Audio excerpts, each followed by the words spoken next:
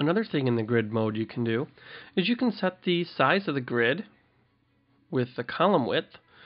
So if you want to have, say, uh, your columns be a little bit bigger, you can just increase that size.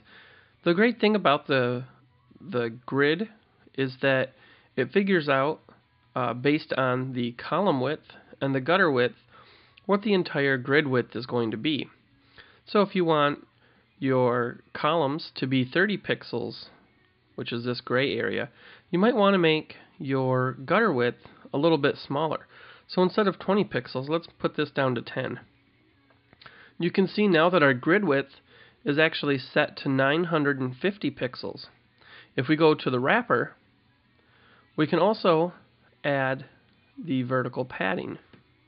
So we can change the vertical padding, which is up here, if we want it to be all the way to the top of the grid, or top of the wrapper rather, we can just get rid of the wrapper vertical padding.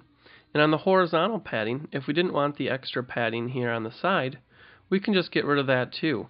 So right now it's set to 15 pixels, which means there's 15 pixels on the left and 15 pixels on the right.